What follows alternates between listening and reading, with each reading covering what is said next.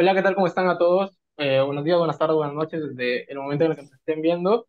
Eh, desde la Sociedad Estudiantil de Ciencias Clínicas estamos inaugurando una nueva sección que se llama Tech Talks para nuestro canal de YouTube, eh, que va a consistir básicamente en entrevistar, tener la opinión de estudiantes de medicina o médicos ya graduados, principalmente peruanos, y estamos ahora iniciando con, con gente de nuestra universidad, la Universidad Cayetano Heredia, pero la idea al final es expandirnos a todos y que podamos tener todos, en, principalmente en el Perú, un enfoque mucho más cercano de todo lo que son STEPS, MIR, y justamente eh, vamos a entrevistar a personas que ya hayan hecho sus exámenes y que nos puedan contar un poco de su experiencia y bueno, algo más.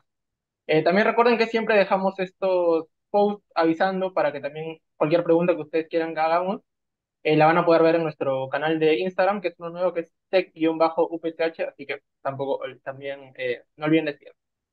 Así que el día de hoy estamos con nuestro primer invitado, que quizás es la persona más indicada para inaugurar esta, esta sección, que es Sebastián Echandías, ya es, creo que es bastante conocido en nuestra universidad. Entonces, nada, ¿qué tal Sebastián? ¿Cómo estás? Queríamos agradecerte antes que nada por, por haber aceptado la invitación.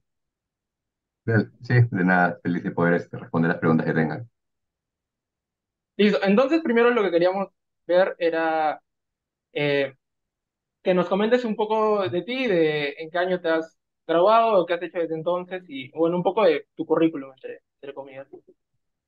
Bueno, terminé en, o sea, debía haber terminado internado el 2020, pero por la pandemia se postergó hasta abril del 2021, más o menos por ahí, abril, mayo del 2021, por lo que nos mandaron a casa. Y este, bueno, terminé en abril del 2021 el internado eh, y después en julio del 2021 más o menos me puse a comenzar para estudiar del, para el STEP 1 bueno, en verdad para el Step 2, pero de ahí vi que el Step 1 lo iban a cambiar a aprobado y se aprobaba, entonces me puse para estudiar para el Step 2. Y en paralelo también me puse este, a ayudar en, en la universidad, en la parte de enseñar en cuarto año, en segundo año, porque justo estaban cambiando la currícula. Y, este, y bueno, desde ahí di los steps y también estuve trabajando en la clínica San Felipe con unos doctores que conozco y ahora espero postular al match del 2024. O sea, antes pensaba el 2023, pero bueno, no, no pasó y por distintas cosas, también por que todo iba a ser muy apresurado y decidí postular, bueno, he decidido postular para el match 2024, que es que postulas el año anterior, voy a explicar después cómo es eso. Claro, o sea, tú ya has dado el Step 1 y el Step 2 CK, ¿no? El Step 3 aún no lo das. No, sí estaba estudiando para ese, pero primero tienes que hacer una serie de trámites antes de darlo, que ahora les voy a explicar que es tener tu certificación de CFMG y lo tienes que solo en Estados Unidos. Entonces, es prácticamente parecido al Step 2, pero todavía no le he dado. Ok. Y cuéntanos cómo te animaste a dar los steps. Bueno, desde la carrera siempre, este, bueno, más o menos en quinto año es que conocí algunos recursos que usa, que de las distintas, no academias, sino este, estos recursos en internet que hay online de, videos para STEPS y los usaba, los empecé a usar para estudiar para la carrera, ¿no? Porque eran bien didácticos y me empezaron a gustar bastante. Entonces, indirectamente ya estaba como estudiando para los STEPS y de por qué dar STEPS, porque siempre pensé que ir a Estados Unidos podía ser una posibilidad interesante para hacer ahí mi especialización, ¿no? no por algo en específico, sino como que era simplemente porque era lo más voceado o este, hablado en ese momento, pero hay varias opciones, o sea, no es la única Estados Unidos. Pero bueno, al final me convencí de intentar ir ahí, ¿no? ¿Y a qué especialidad vas? Primero tengo que ir este, a medicina interna, tienes que coger en general si quieres quirúrgicas o no quirúrgicas, más o menos, ¿no? Grandes aspectos. Si quieres no quirúrgicas, salvo ciertas excepciones, la mayoría primero tiene que pasar por medicina interna. No es como Perú o España, por ejemplo. Entonces, imagínate que quieres cardiología, tienes que primero hacer medicina interna y después volver a postular a cardiología. Yo creo, hasta ahorita creo que quiero neumología y UCI, porque son las dos especialidades juntas en Estados Unidos. Acá son separadas, por ejemplo. Entonces, neumología y cuidados críticos es una misma especialidad, pero es otra de las que tienes que primero pasar por dos años en medicina interna. Entonces, específicamente estaría postulando medicina interna, te aceptan a medicina interna, que son dos años, y de ahí tienes que volver a postular a la especialidad que quieres, si es que quieres este, seguir después de medicina interna en otra especialidad. ¿no? Entonces, hasta ahora ah. sería neumo, neumo UCI, pero cualquier cosa puede cambiar mientras que esté haciendo medicina interna. Claro, quizás para la gente que nos está viendo, esta, alto, esa, esa es Pulmonary and Critical Care, ¿no? Creo que es la... ¿Perdón? O sea, eh, la especialidad exacta es Pulmonary and Critical Care, creo, ¿no? Sí, son las dos juntas, o sea, sales como neumo y como UCI. Ok, pero quizás para volver un poquito atrás, nos comentaste que empezaste, como que conociste esos recursos en quinto, ¿no? O sea, antes de quinto, eh, digamos, no utilizabas eh, nada de Boards Beyond, entiendo todas, todos esos recursos. Recién en O sea, lo, prim- lo, lo primero que conocí, porque nadie, al menos de años mayores, te orientaba mucho ahí, porque tampoco estaban tan, este, era tan conocido, fue el doctor Nayib, no sé cómo lo conocí, creo que buscando Ah, en internet así, y me acuerdo que me metí a eso, o sea, me, me, eh, me metí a sus videos y los empecé a usar bastante desde Neumo, el EFI de Neumo me parece. El problema era que eran bien didácticos, pero bien largos, ¿no? Eh, Pero no conocía otras cosas porque no, no, no sabía que existían.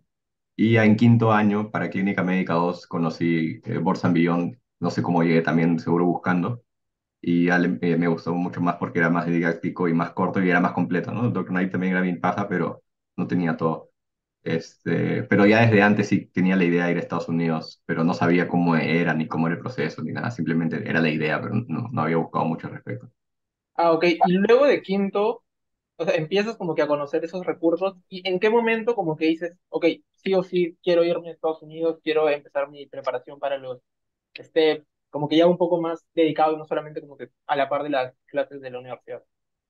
O sea, ya sa- de quinto más o menos empecé a entender cómo era esto de Step 1, Step 2, de los materiales que habían y los temas que entraban, pero o sea, por, por más que al inicio, quizás cuando conocí los materiales, dije, ya voy a empezar a estudiar para este uno en quinto, ponte que conocí los materiales, me di cuenta que era, al menos en ese momento, para mí bien difícil poder abarcar todos los temas que pedían y de ahí para externado iba a ser mucho más complicado, por más que hubiera querido, ¿no? Porque, bueno, recién lo conocí en quinto y también había nuevos temas que nunca antes había visto. Este, entonces simplemente no estaba dedicándome a estudiar para el step uno per se, pero usaba los materiales para estudiar para la universidad. Y recién ya en, este, en la pandemia, que fue el 2020, porque en internado, justo mi primer bloque, lo hice en medicina interna antes de la pandemia, enero a marzo. Entonces, ahí me di cuenta que era imposible estudiar cualquier cosa. O sea, entras a las 7 de la mañana, salías a las 11 de la noche, 10 de la noche o 9, dependiendo del día, porque era prepandemia, y ni siquiera tenía tiempo para mirar videos de NAM, ¿no? Este, o para ir al gimnasio, lo que sea, no había tiempo de nada. Y pero ya con la pandemia, eh, que nos mandaron a nuestras casas a hacer nada, comencé a estudiar pero me empecé a enfocar, o sea, comencé a estudiar tipo varias horas al día porque ha- había tiempo para eso, ¿no?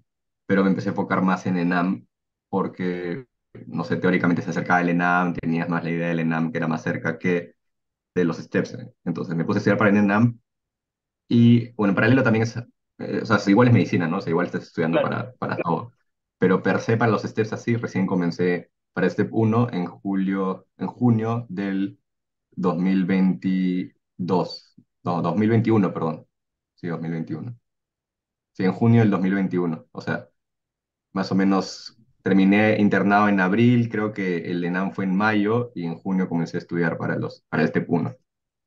Ah, ok. Entonces creo que ahí podemos empezar a sacar un mensaje importante porque muchas de las, por ejemplo, personas cercanas que tengo y que nos han comentado en Instagram, esa duda que tienen de, ok, si no empiezo a estudiar desde la universidad, así full con los steps, eh, no voy a llegar. Entonces, digamos, podríamos llegar que es una serie de mensajes ¿no? Sino que uno, digamos, si no es algo súper urgente, podría empezarlo eh, quizás en los últimos años o en- ya siendo graduado así la dedicación a full.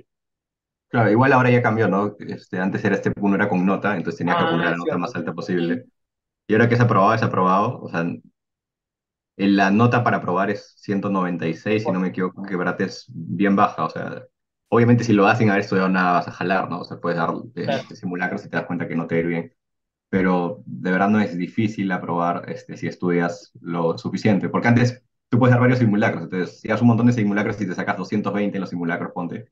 Esa es una nota con la que ni fregando haces el Step 1 porque era bien baja para Step 1, un 220. Pero si en un simulacro o en varios simulacros ahora te sacas 220, es más que obvio que vas a aprobar, porque estás 30 puntos casi por encima de la nota aprobatoria. Entonces, es distintas formas de enfocar el estudio. ¿no?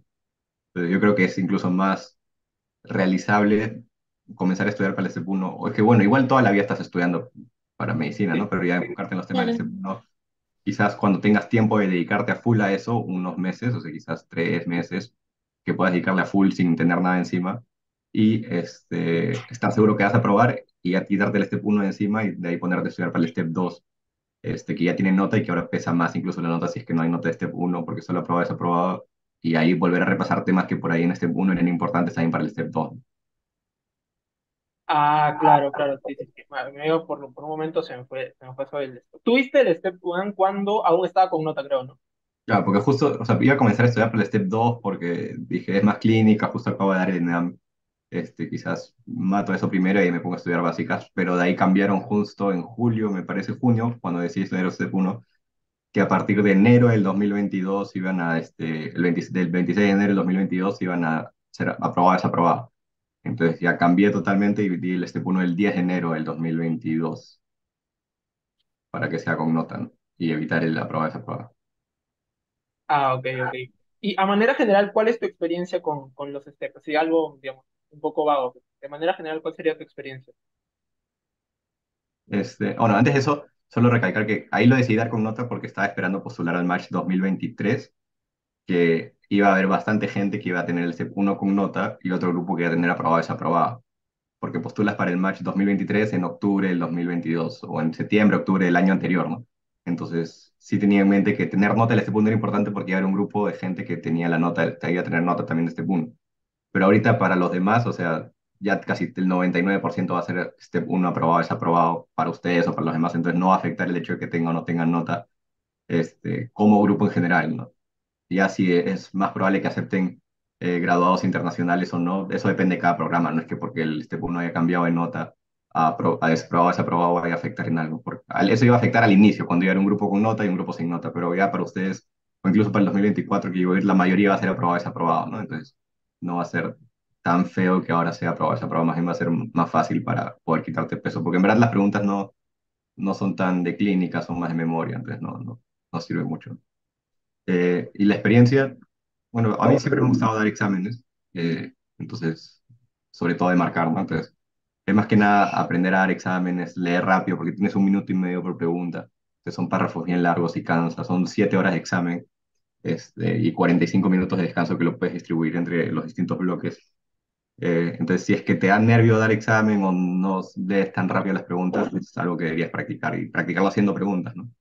Entonces, pues, idealmente creo que dicen que hay que al menos 10.000 preguntas antes de dar el Step 1 y ya para el Step 2 también, ¿no? Entonces, creo que así habría hecho 10.000 preguntas yo antes del Step 1. Y de tanto hacer ya lees rápido, sabes qué marcar y todo lo demás. Y bueno, ya nos comentaste un poco de tu experiencia general y cómo te comenzaste preparando.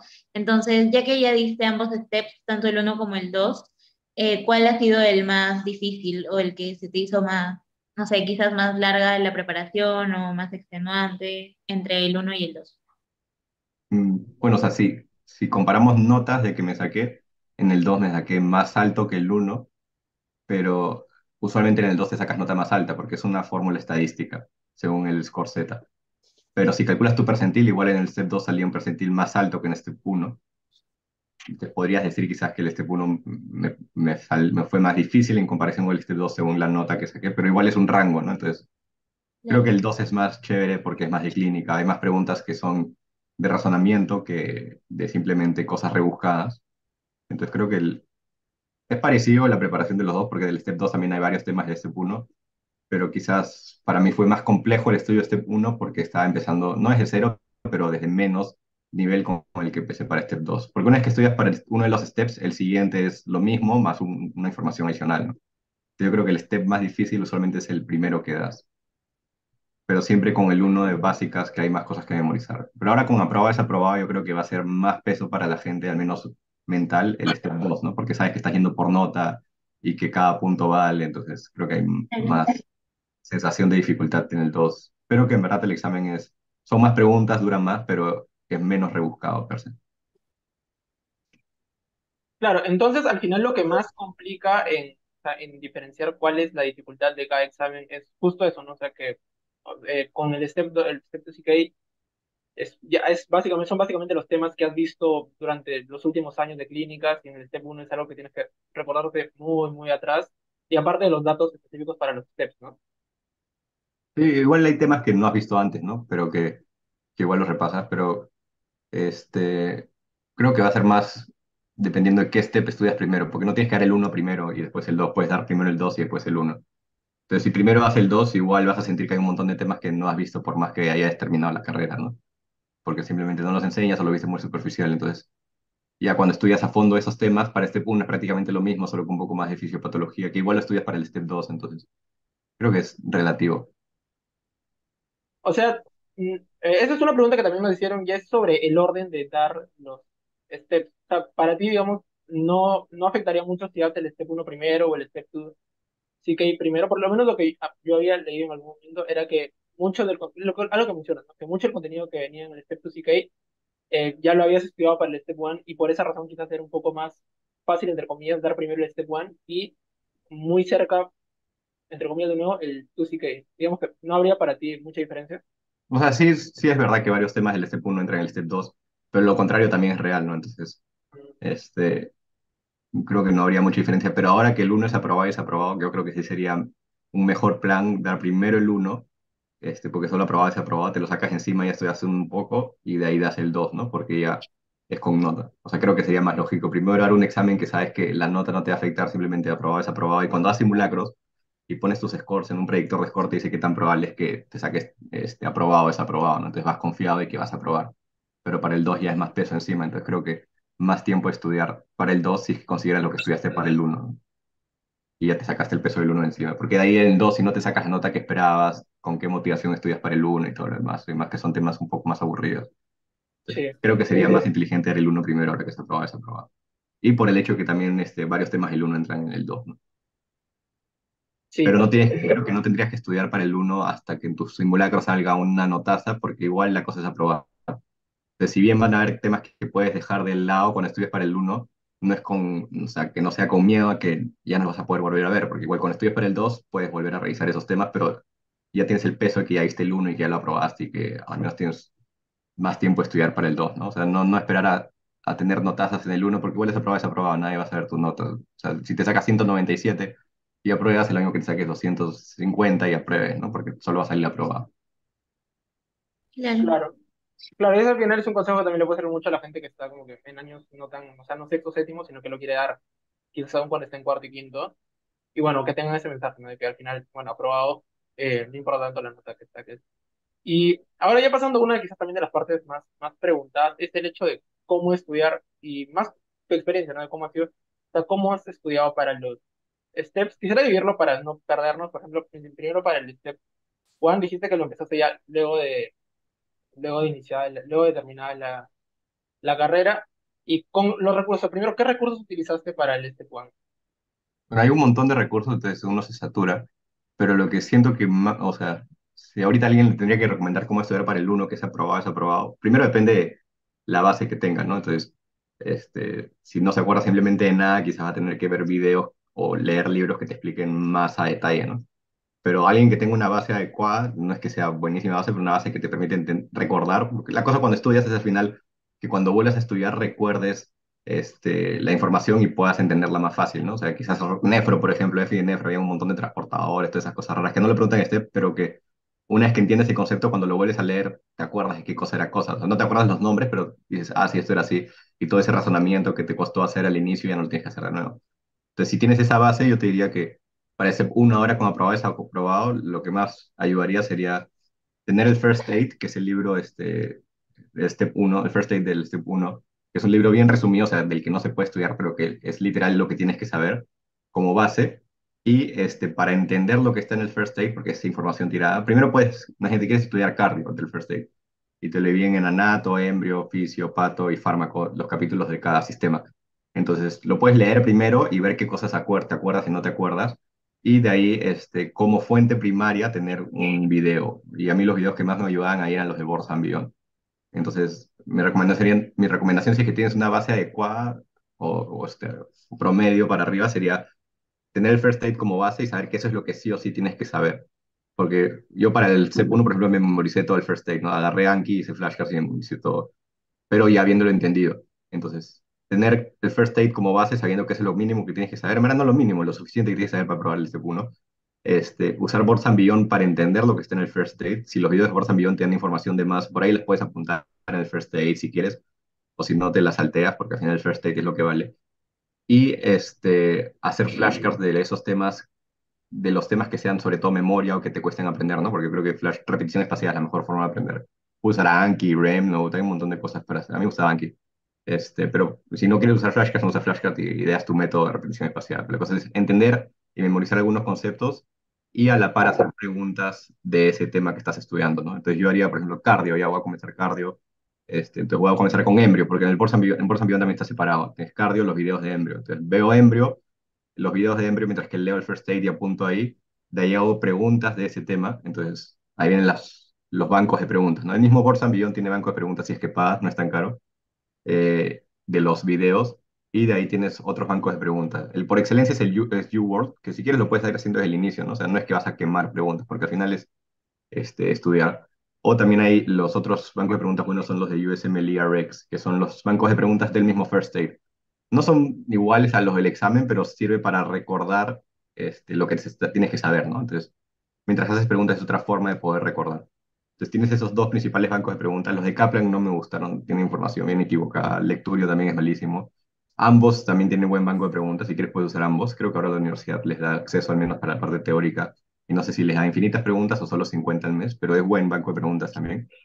Entonces yo escogería RX y si tienes tiempo, escogería leer el First Aid con, el, con videos de Borsan Beyond y a la par hacer, por, no por cada capítulo, sino por cada subcapítulo, el capítulo como embrio, banco de preguntas de USMLE RX, que son las preguntas del First Aid, y de ambos, pero de esos, de esos subtemas, ¿no? De embrio de carga, por ejemplo, y, y hacer flashcards de los, no de las preguntas, sino de los, solo del First Aid, no da flashcards de Words and Beyond y todo, porque yo hice y te saturas y no lo terminas respondiendo.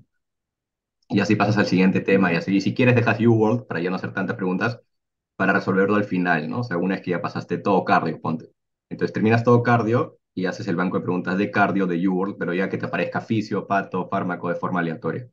Y la UWorld, aparte de banco de preguntas, tiene, este, te explica la respuesta y te da teoría. Entonces, para las preguntas de RX y de ambos, yo no diría, yo diría que la teoría que te dan en la respuesta, solo la leas para entender la respuesta, no hagas apuntes de eso porque te vas a matar. Este, pero de UWorld, si hay una pregunta, porque hay preguntas de UWorld o de otros bancos de preguntas que no están en el first state, que es información adicional, si es que es algo que nunca habías escuchado, si lo vuelves flashcard, ese concepto principal, ¿no? Y la teoría que te da abajo, si es que hay una cosa extra, por ahí la puedes apuntar en el first date o volverlo un flashcard. Pero una vez que ya has aprendido este, toda la información del first date, porque si no vas a duplicar información haciendo flashcards de U-Word, flashcards de ambos, flashcards de first date. Y como es aprobado, es aprobado. E incluso si no fuera aprobado, es aprobado, también te vas a sacar buena nota si haces eso. Y entonces, acabas banco de preguntas de RX, acabas banco de preguntas de ambos, acá banco de preguntas de UWorld, y de ahí, o a la par, puedes ir haciendo simulacros, que son los, se llaman NVMEs, este, que son las mismas personas que hacen el Step 1, hacen esos simulacros, que los compras en internet o los puedes descargar por ahí, este, offline, que es Bamba, ¿no?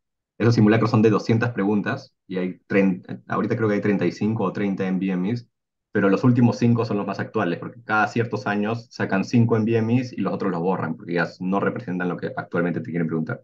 Entonces, comenzar con los NVMEs más nuevos, desde el 30, 31 creo que hacia atrás, ¿no? Si haces todo, bacán, pero son 200 por cada uno, si son 30 serían 6.000 preguntas, ¿no?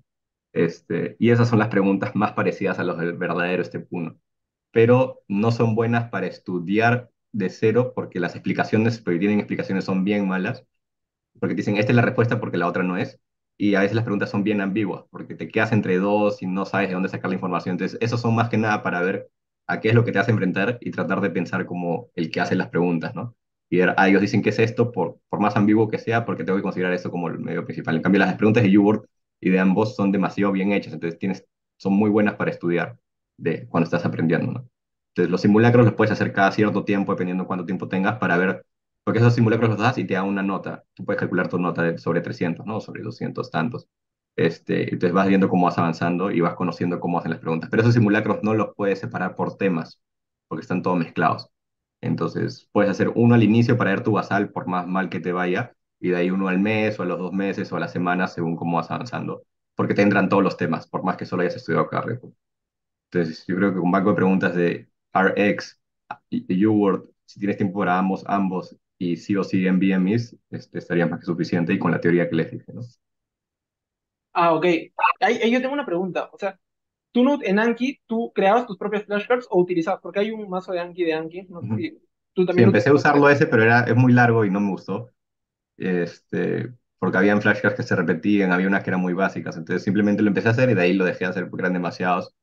Eh, teóricamente lo puedes usar con tags, entonces creas un deck en base a los tags, porque cuando entras a ese Anking, te sale este Sankey, por ejemplo, que es uno de los subtipos de Anking que ha creado.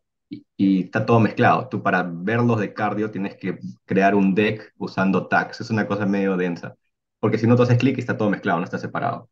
Este, y son muy repetitivos, me parece. Entonces, no, no usé mucho. Yo creé mis propios flashcards de Boards and Beyond, de ambos, de Yogurt y del First Aid, pero me saturé. Y al final lo único, los únicos flashcards que terminé haciendo al 100% fueron los del First Aid. O sea, tenía subcarpetas, ¿no? Entonces era First Aid, Cardio, Embrio, Anato, Fisio, porque a mí me gusta separarlo en carpetitas, no usar tags.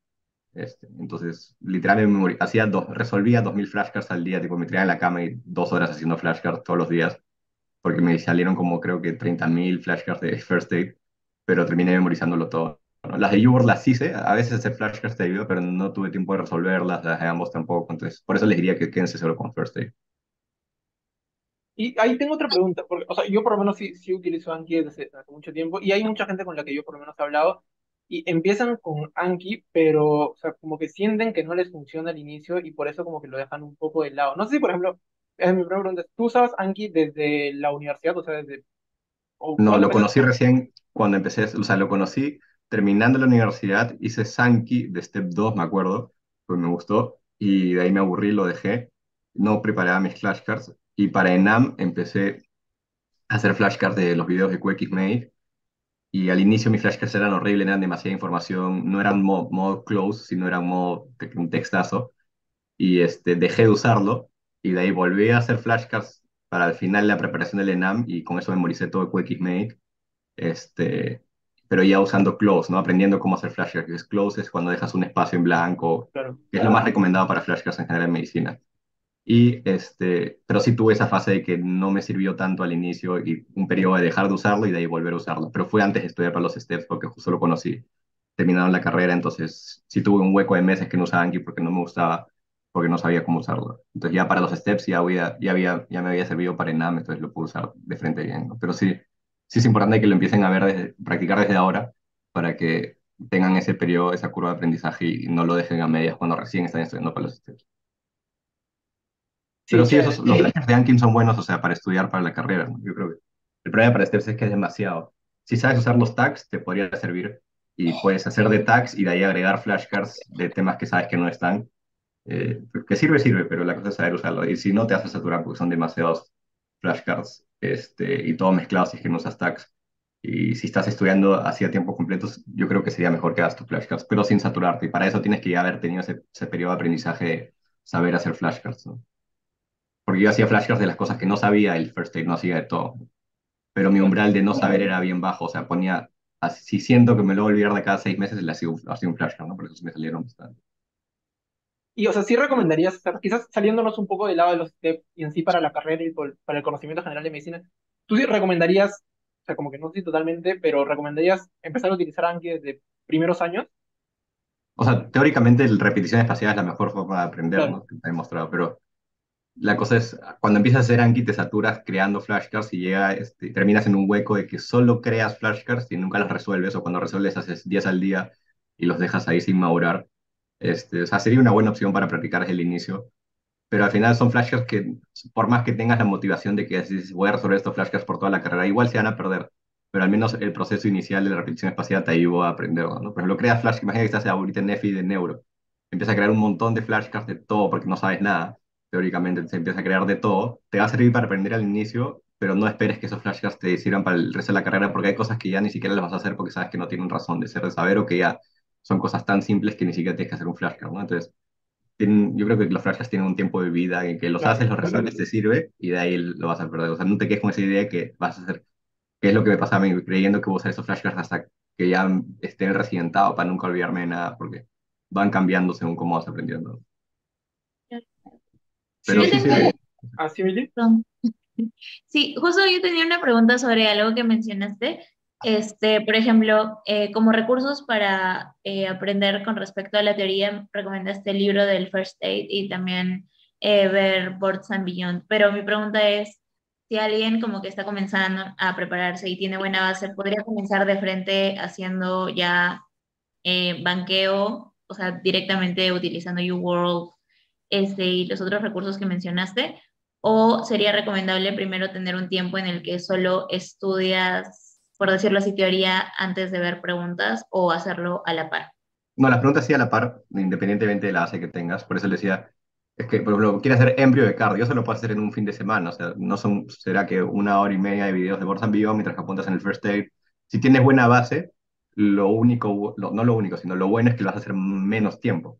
Entonces, si sigues el mismo modelo, vas a más rápido terminar todas las, todas las teorías, porque puedes escuchar el video 2X y hay varias cosas que no vas a apuntar porque ya las sabes, este, y más rápido vas a llegar a las preguntas de YouWorld, ¿no? Entonces, si es que ya lo sabes, quizás no hacer, si es que ya tienes buena base, te diría que no hagas las de USMLE RX, porque no son algo que representen el examen, son buenas para repasar, sino que de frente hagas de YouWord, pero mientras que a la par estás viendo los videos de Borsan Beyond y estudiando, y que hagas las preguntas de banco de preguntas de Borsan Beyond, si es que te pagas Borsan Beyond, porque son interesantes, o sea, son distintas, no entran tanto, pero sí son, algunas son buenas como para repasar, ¿no?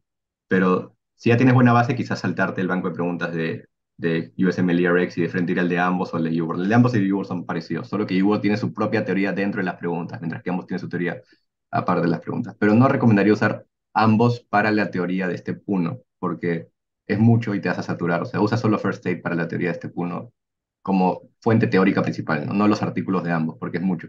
Este, salvo ciertas excepciones. Por ejemplo, en Step 1 y Step 2 entra bastante de estadística y First Aid tiene, pero no tiene mucho. Ambos tienen cuatro artículos de estadística. Antes eran dos, ya lo separaron en cuatro. También ética y este, comunicación con el paciente entra bastante en el Step 1 y el Step 2. Y en el First Aid es cortito, por más que lo hayan actualizado un poco. Y en ambos tiene, ambos tiene como cuatro artículos de eso que son bien buenos. Y para el Step 2, porque en Step 1 ya no entra mucho, Quality and Safety, que es como salud pública de Estados Unidos, el, o salud pública en general, este, y este, también el sistema de salud de Estados Unidos está bien completo en ambos y en el First Aid está más menos, ¿no? Y en YouWorld tampoco hay mucho de ética, de, de sistema de salud de Estados Unidos y todo eso. Entonces, ahí es donde ambos sirve bastante este, para ver esas, esas partes, si quieres leerte un artículo completo y hacer flashcards de eso, ¿no? Para Step 2 sí ambos sirve mucho más. Ah, ok, ok. Y entonces, bueno, esos serían los recursos para el Step 1. Y entonces, ahora pasando a, exactamente cuánto tiempo demoró tu preparación para el Step 1? De los, antes de eso, de los recursos Step 1 también hay un montón, o sea, van a ver Patoma, Fisio, Kaplan, o sea, o sea, al final todos son repetitivos. Yo te diría que si no entiendes algo de Borsan Billón, por ejemplo, estás en Bioca, que es dentro, y Billón te complica un poco, a mí me ayudó ahí a ver los de Fisio, ponte, P-H-Y-S-E-O, que son unos nuevos videos que hay así, tipo, este, explicando, que me parecieron chéveres. Patoma es chévere, pero si lo vas a usar, úsalo solo para patología general. Borsan Billón ya tiene videos de patología general, pero ya si quieres volver a ver, los de Patoma explican chévere, pero es repetitivo, o sea, eh, porque Borsan ya tiene videos de eso. Pero durante la carrera yo sí usaba Patoma, por ejemplo, y Borsan ¿no? Me toca Clínica Médica 2 y veía Borsan y Patoma. Este, pero Kaplan sí me parece los videos malos, son de 10 horas, creo que dura la academia, es peor todavía, si es que estás en Estados Unidos, son como 10 mil dólares que te gastas en vano. Los lecture notes de Kaplan son bonitos y todo, pero es repetitivo al fin y al cabo. O sea, ¿para qué ver esos libros de lecture notes de Kaplan si tienes el first aid y todo lo demás? Y hay información del Kaplan que te tira que no entra, entonces Igual que los bancos de preguntas de Kaplan. Me acuerdo que pagué el de este 1, lo terminé, pero eran preguntas que nada que ver, algunas mal explicadas. Entonces, esos otros recursos, Lecturio, Kaplan, no lo recomendaría tanto. Si quieres recursos adicionales, Patoma y Fisio, que son, son buenos. ¿no? Online MedEd, que es de un peladito, tampoco está bien actualizado. Hay gente que lo usa para clínica médica, porque también hace Step 2, pero no están actualizados, o sea, no me gustan tanto tampoco. Y el tiempo que me demoré en prepararme fue de... o sea, es que toda la vida te estás preparando, entonces depende de tu base pero considerando el, que le dicen el, el, el, periodo intensivo, el periodo que ya estás enfocado solo en ese punto, estrictamente ese periodo yo comencé en julio y di el examen en enero, pero tuve un hueco entre octubre y noviembre que creo que fue octubre que empecé a llevar en el curso de inmunología, fue por ahí, creo que septiembre, octubre, que empecé a llevar el curso de inmuno con el doctor Montes, el primer que había cambiado la currícula, entonces no dejé un poco de lado el step 1, ¿no? Este, entonces, sería julio, agosto, septiembre, octubre, noviembre, diciembre, enero, siete meses, pero estrictamente podrían ser cinco meses, ¿no? Que todo el día estaba haciendo flashcards, estudiando, haciendo flashcards, estudiando. Ah, ok. Y volviendo al toque de los recursos, eh, ¿llegaste a utilizar Sketchy para micro o, o no? No me gustaba porque no me gustaba memorizar así con dibujitos que no tenían, o sea, Ah, con una historia que no tenía nada que ver. Y ya me gustaba micro de antes y parásito, efecto y todo lo demás, entonces me parecía fácil. Pero hay gente que le ayuda un montón, o sea, si te sirve, bacán, ¿no? claro, Pero no me, no me gustó. Quizás puede servir porque no lo conocía yo para micro cuando llevas micro por primera vez en tu vida, porque me acuerdo que para estudiar para ese curso de micro yo tenía que hacer, hacía el apunte de Word, por ejemplo, de Bartonella, ni siquiera sabía qué enfermedad causaba, me estaba memorizando toda la microbiología de Bartonella o de las bacterias, porque era clase por bacteria, me acuerdo, para el curso de microbiología. Y solo tenía que memorizar, no entendía nada. Entonces quizás ahí podría servir esos videos de Sketchy, porque tienes que memorizar algo que no, todavía no estás haciendo de clínica. Pero para este, no, a mí no me ayudó bastante, pero hay gente que le gusta. O sea, sí, sobre todo si tienen dificultad con micro, puede ayudar. Sí, sí, creo que en verdad podemos confirmar eso de que sirve cuando estás empezando, porque por lo menos creo que Mili y empezamos a utilizar en, en También tiene para fármaco, ¿no? O sea, sí. Ajá, sí tiene para varios, pero la, Pero que para infecto otras sí entra, infecto sí entra bastante en Step 2, al menos a mí en el Step 2 me entró bastante infecto, sobre todo antibióticos, vacunas, esas cosas. Ah, ok, ok, ok. Y entonces, eh, siguiendo con la parte del Step 1, ah, o sea, más o menos cómo lucía un día tuyo en una preparación, o sea, en un día que te dedicabas totalmente al Step. Es que como no estaba haciendo nada al inicio, o sea, recién comencé a hacer algo en- para el EFI este de Inmuno, pero era todo virtual porque seguíamos a 2021. Este, antes de eso, mi día era simplemente estudiar. Al inicio ni siquiera podía ir al gimnasio porque estaba todo cerrado. Entonces, prácticamente tuve el beneficio, entre comillas, de, de tener estar encerrado en mi casa y no tener otra cosa que hacer, salvo que estudiar. Entonces, me despertaba, estudiaba. Hasta mi horario se empezó a invertir. Me dormía creo que a las 4 de la mañana y me despertaba al mediodía. Creo que a varios nos pasó, ¿no? Que- pero era estudiar, me aburrí un rato, quizás este, hacía algo distinto y volví a estudiar y así eh, y resolvía flashcards y volvía a estudiar. Ya cuando empezó a abrirse todo, este, se iba al gimnasio, eh, a un hueco, o sea, como no había otra cosa que hacer no tenía tantas responsabilidades, este, iba al gimnasio cuando ya estaba con ganas, pero el resto del día estudiaba, ¿no? Pero sí una vez al día al gimnasio. Pero eso era en, o, si, o- en un periodo como ahora sería si es que tienes la opción de dedicarte 100% a eso y no tienes otra cosa que hacer, ¿no? Yo pude hacer eso porque me agarró la pandemia y no tenía opción de hacer nada más, ¿no? O sea, porque ni siquiera había tenido, todavía no tenía título, tenía que acabar la tesis, pero la pandemia me agarraba, entonces estaba en el limbo. No era que podía trabajar tampoco, porque no era médico per se. Entonces no me queda otra que estudiar. Pero si no, yo creo que sí se puede dividir, este, pero mientras más cosas tienes que hacer, más tiempo te puedes demorar, pero que se puede, se pueden. ¿nunca llegaste a un punto en el que te sentías muy saturado de, la, de todo lo que estabas estudiando? Sí, o sea, te sientes saturado de tanta información y sobre todo si empiezas a ver más fuentes y más fuentes. Y al inicio me pasó que me ponía, ya decía, ya vi Boards Beyond, ya vi First Aid, ahora quiero ver ambos y me ponía a leer los artículos de ambos y de ahí me ponía a leer el Kaplan, el Lecture Notes y de ahí me ponía a buscar banco de preguntas de otras cosas y me saturaba y al final era en vano, ¿no? Entonces te saturas si es que te llenas de fuentes. Si te quedas con tres fuentes y tranquilo con eso, igual vas a sentir que te saturas, pero menos, ¿no? Pero al menos la cosa es en algunas especialidades sí te sientes más agobiado. Por ejemplo, en Bioca, a mí lo empecé a patear, patear, patear hasta que ya en, en noviembre creo que dije ya tengo que estudiar Bioca porque mi examen es como en dos meses. Y me dediqué todo un mes a estudiar Bioca, que era un montón y ahí sí quizá me sentí un poco agobiado. Porque aparte tenía que resolver los flashcards que me tocaban de Anki, ¿no? Este, pero por lo demás, no, o sea, como me gusta estudiar, creo que me gusta esa sensación de estar estudiando, estudiando y sentir la presión. Ah, chévere, chévere. Entonces creo que con eso terminamos lo de la parte del Step 1. No sé si quisieras agregar algo con, con respecto a este examen. Mm, No, o sea, que igual ahora se puede dar en Perú y abrieron en el Ligna, no es necesario irte a otro lado. Que no paguen esas academias de 10 mil dólares de Kaplan, que no lo vale, ¿verdad? Y, y nada, que tienen que hacer preguntas, si pueden hacer preguntas desde la carrera, para los, cuando estudias para distintos este, cursos, hay un montón, ¿no? Porque la cosa es aprender, son, es poco, un minuto y medio por pregunta es poco, pues en la universidad te acostumbran a hacer dos minutos por pregunta, y a veces hasta te dan más tiempo, y los párrafos son mucho más largos, este, entonces es mucho más complicado. Entonces, uno de los temas importantes es eh, aprender a, hacer, a, leer rápido y a poder resolver preguntas rápido, porque de ahí tienes que tener tiempo para poder revisar todo, ¿no? Porque llenas todo de banderitas en el examen y tienes que pasar por las banderitas. Entonces, si te sobra tiempo, lo ideal es que te sobre tiempo después de haber revisado una vez el examen, pero para eso tienes que resolver y resolver y resolver preguntas. No basta con saber si tienes que estar acostumbrado a hacer rápido las preguntas. Claro. Y ahora pasando para la parte del Step 2, Eh, de nuevo, ¿qué recursos utilizaste para, para este examen? Primero empecé a tratar de memorizar todo ambos haciendo flashcards de los artículos, pero era demasiado. Entonces ahí sí me saturé. Y dije, ya voy a chequear los videos de Borsan Beyond, porque justo habían, hace un tiempo habían salido los videos de Borsan Beyond de Step 2, que es parecido a los de Step 1, pero mucho más cortos, creo que duran 70 horas nomás, y el Step 1 dura como 180 horas el global. Es mucho más superficial, hice flashcards de eso, y ya no, porque el first aid del Step 2 es malísimo, este, ni lo vean. Y este, literal empecé a memorizar los, los flashcards de Borsan Beyond de Step 2, que dice que al inicio era reacio yo a ver Borsan Beyond de Step 2 porque me parecía bien superficial, no entraba en profundidad en el diagnóstico, tratamiento, que es lo que siempre nos preguntan a nosotros en clínica, ¿no? O sea, con el detalle de la guía y todo eso. Pero eso no te preguntan en Step 2. O sea, no te preguntan este, la guía de hipertensión ni la guía de insuficiencia cardíaca. Las cosas te preguntan cuáles medicamentos mejoran sobrevida, cosas así, o el mecanismo de acción. Entonces, yo estaba con la mentalidad de aprender lo que me exigían en la universidad, que es en clínica médica, que es lo que tienes que saber como médico, ¿no? A fin y a cabo. Pero eso es lo que te van a pedir en la residencia de Estados Unidos.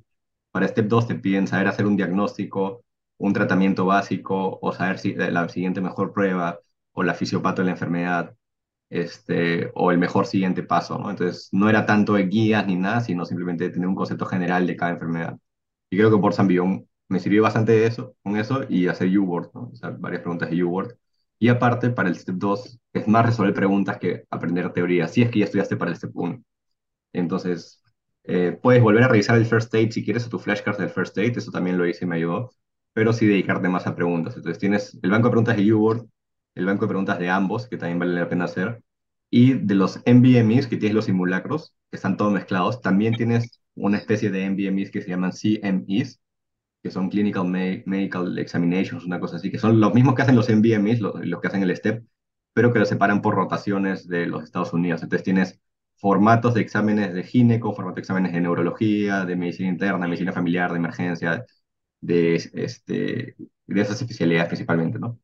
Y son como, hay como cuatro formatos de 50 preguntas de cada uno y al final termina siendo como 3.000 preguntas y son de las que hacen el STEP también. Entonces eso sirve bastante para estudiar. Entonces ahí tienes otro fuente de banco de preguntas.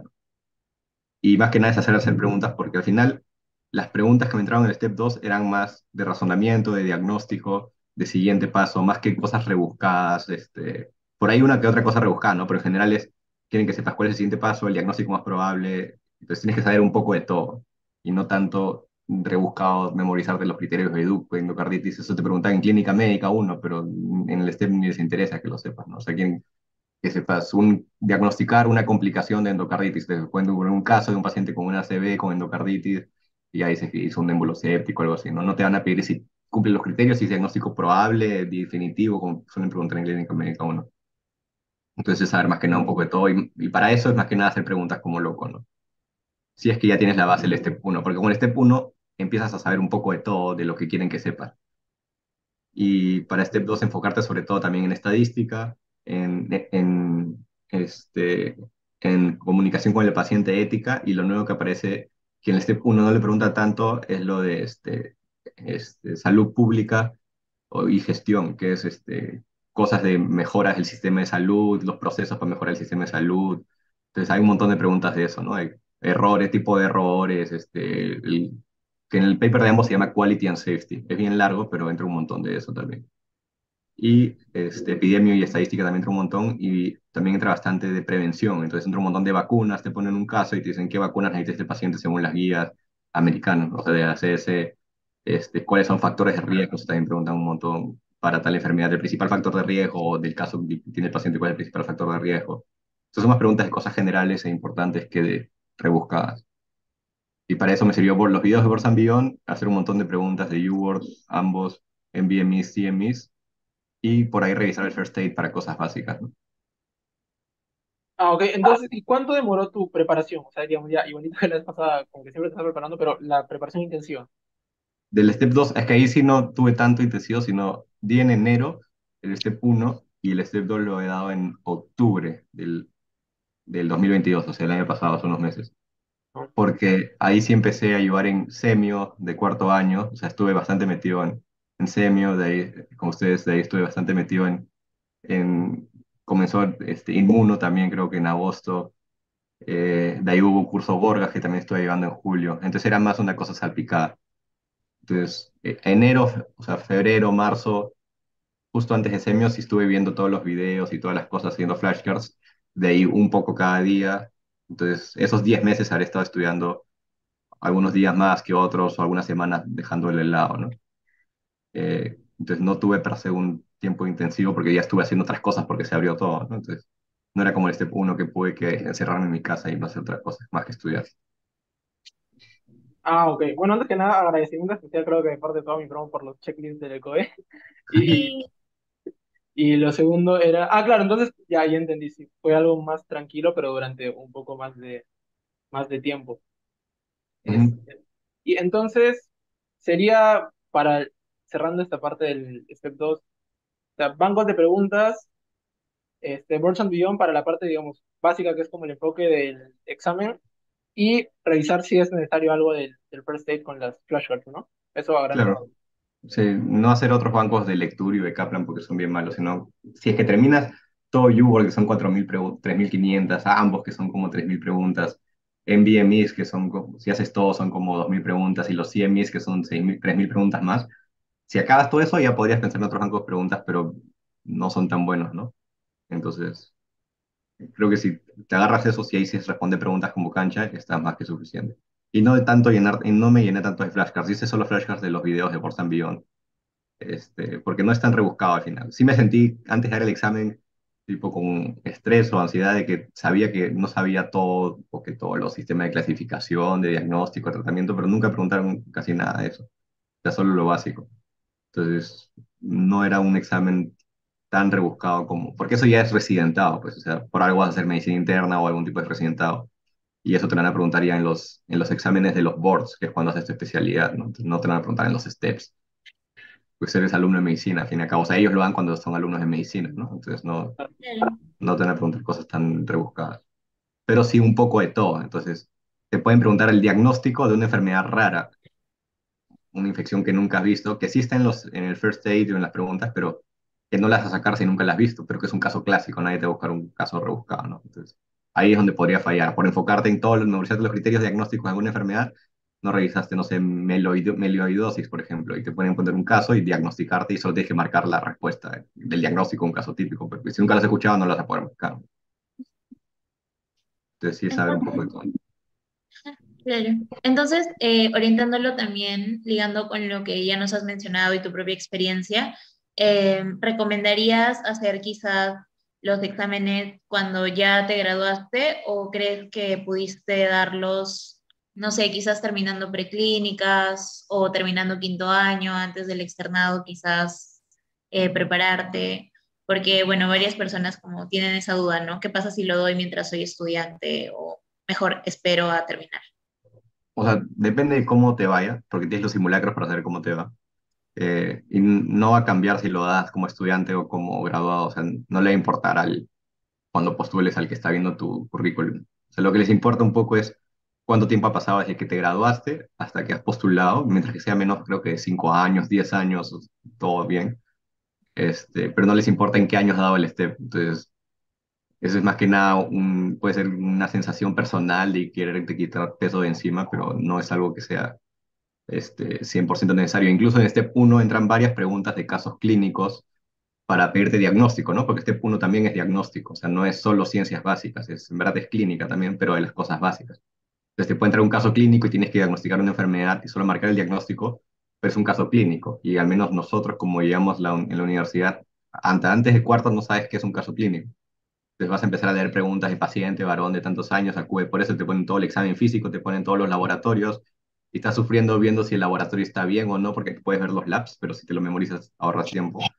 Y no sabes cómo interpretar un caso clínico, entonces te complica más, ¿no? Creo que es dependiendo de cada uno si es que está dispuesto a estudiar aparte, pues si no, no hay ningún problema, creo que darlo después. Siempre puedes ir estudiando desde antes, ¿no? Ir cerrando temas, eh, pero darlo cuando estés mejor, más listo. E igual con los simulacros puedes ir sabiendo cómo vas, ¿no? Al menos el step 1 creo que sí sería posible si es que es desde inicio de la carrera te enfocas en poder darlo cuando estés listo, puedes hacerlo durante la carrera, ¿no? Si estudias un poquito a cada momento. Como eres aprobado, aprobado, y los simulacros para quinto, pasando de quinto para sexto, ponte ya, sientes que estás bien porque has ido estudiando un poco toda la carrera, lo puedes dar, pero en verdad no hay ningún apuro, ¿no? O sea, Ah, ok, ok. Sí, bueno, creo que eso va a resolver bastantes dudas que tiene, que tiene la gente. Y también queríamos saber si tuviste algún obstáculo o alguna dificultad durante tu preparación y si es así, ¿cómo lo pudiste afrontar? o, sea, no creo, bueno, lo principal fue que el Step uno cuando yo lo di, no, no fue, no había, no se podía dar en Perú, entonces tuve que viajar un viernes, di el examen el sábado y regresé el domingo, pero, pero no creo que siempre está el estrés y el peso encima de sentir que no has terminado de estudiar todo, ¿no? Pero con los simulacros ya sabes, o sea, los simulacros de verdad son bien buenos y los de estos de NVMEs y los de ambos también que saco una vez al año, hasta la semana pasada el Step uno de ambos, por ejemplo, este, que son gratis, los de ambos, ¿no? Entonces si lo das, o los que dieron el de ambos, por ejemplo, que creo que fue hasta la semana pasada y las notas salen dos semanas, son bien predictivos de cómo te va a ir, ¿no? Entonces, creo que por ese lado puedes estar tranquilo si te está yendo bien, de que te va bien el examen. Y si te está yendo mal, sabes que todavía no es momento de ir al examen. Entonces, más o menos sí puedes saber qué tan bien o qué tan mal te va a ir. Y más o menos los simulacros también correlacionaban con la nota que al final me saqué, ¿no? Entonces, creo que eso es lo único. Quizás lo que no me pasó, pero que a algunos le pasan, es que ya se acerca, porque ya reservas el examen, se acerca la fecha y los simulacros todavía no te va como quieres que te vaya. Entonces tienes que tomar la decisión si postergas el examen o no. O sea, tienes que pagar un, un fee para poder postergar la fecha del examen. Mientras más cerca el examen es más caro es postergarlo. Entonces creo que eso es algo que les puede pasar a algunos si es que no se sienten bien con los resultados de los simulacros, porque no sentirse bien es subjetivo. Nadie se va a sentir preparado para el examen, pero si los simulacros Claro, objetivamente te, diciendo que no te está yendo como tú quieres que te vaya, lo más probable es que no te vaya como quieres que te vaya. Sobre todo si es con nota, ¿no? Si los simulacros te dicen que vas a jalar, mm, tienes que postergarlo. Yo creo que ese sería el mejor consejo para alguien.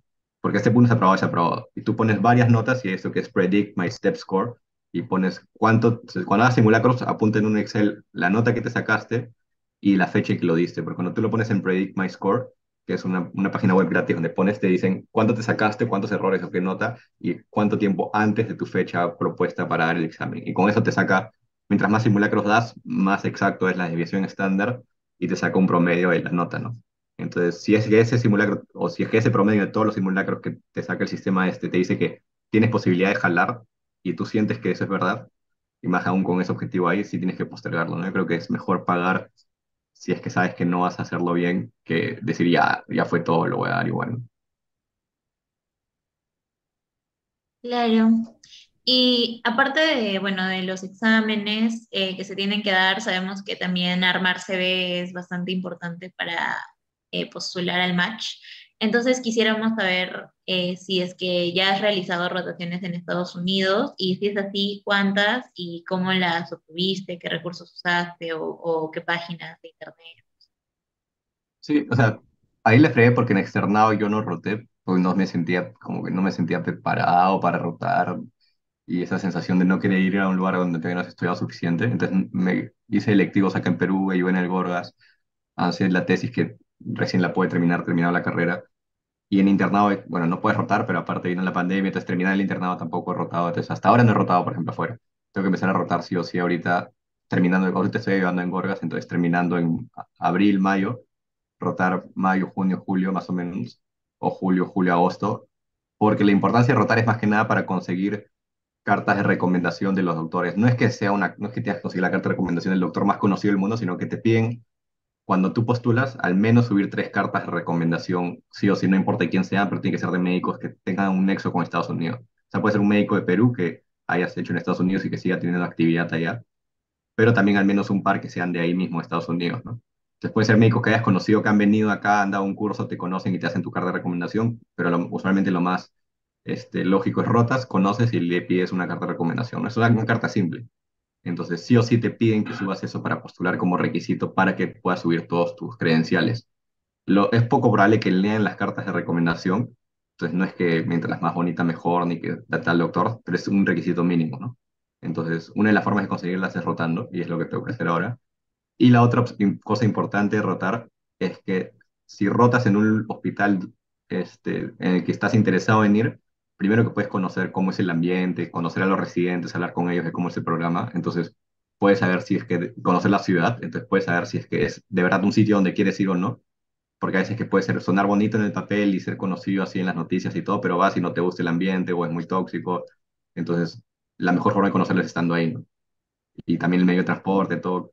Este, obviamente ese sí, más o menos para saber un poco de todo, ¿no? Pero al final donde te aceptan es donde te aceptan, donde, o sea, tú no te vas a poner este, como picky diciendo quiero acá y no quiero acá y tampoco funciona así, pero puedes ir conociendo los lugares, ¿no? Y más o menos, pues tienes que hacer un orden, un rank list cuando postulas. Entonces, más o menos, ese rank list lo puedes hacer si es que ya has rotado ahí conocer los lugares. Esa sería la otra importancia rotar. Y lo otro que también, si es, con, si es que sobresales ahí o conoces a la gente, a veces son los mismos residentes o los asistentes los que están involucrados en el proceso de selección. Entonces, si ya te conocen, las notas son el primer paso para pasar a la entrevista.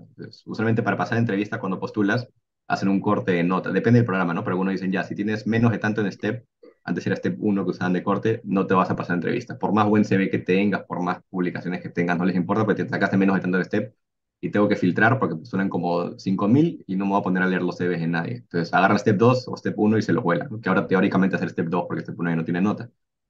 Este, y después de eso, si es que son muchos para entrevista, se ponen a hacer unos scores que puede variar entre cartas de recomendación, entre tu currículum y otras cosas, este, para ver si pasas o no entrevista. Y una vez que pasas entrevista, ahí es donde realmente leen tu CV durante la entrevista y te van preguntando cosas de tu CV, ¿no? Y es donde te, cómo te ven a ti que te desenvuelves más que el CV per se, para ver si te aceptan o no, porque ya es más subjetivo. Y ahí es donde si es que has rotado antes y ya conoces el lugar y ellos saben que la gente, que te llevaste bien con la gente, que sabes trabajar en equipos, es donde tienes más probabilidad de ingresar, ¿no? Entonces, más que nada para eso sirve rotar. Porque al final en la entrevista lo que quieren ver es que si tú vas a servir, no hay por más que sepas por tu inteligencia, sino que sepas trabajar en equipo, que no causes problemas, que te sepas desenvolver. Y si has rotado ahí y has podido hacer eso como alumno, y ahora estás viniendo a postular, más, más razón para que te quieran ahí, ¿no? Si es que ya pasaste su corte de los mínimos estándares necesarios, porque pues haberte llevado bien con todos, pero no cumplir los mínimos necesarios de Step 1, de currículum que ellos piden y simplemente no pasas, ¿no? Pero una vez que pasas entrevistas, lo que vale es eso, así que ya te conozcan. Entonces, solamente la cosa es rotar en lugares donde, bueno, al inicio rotas donde, donde, donde puedas rotar, ¿no? Pero si tienes la oportunidad de escoger, escoger a un lugar que quizás estás interesado tú en rotar y escoger en ese lugar la especialidad en la que quizás podrías estar interesado, ¿no? Y si no sabes en qué quieres hacer, entonces rotar para conocer las distintas especialidades, que puede ser eso, también puede ser en Perú, no hay ningún problema, pero si puedes ir a Estados Unidos o a otro país también, este, para conocer cómo es en otros países la misma, esa especialidad. Pero sí es importante. Ah, ok. Entonces, si, una pregunta más aparte, si tuviera, si pudiera regresar a, a sexto año el externado, ¿harías las rotaciones?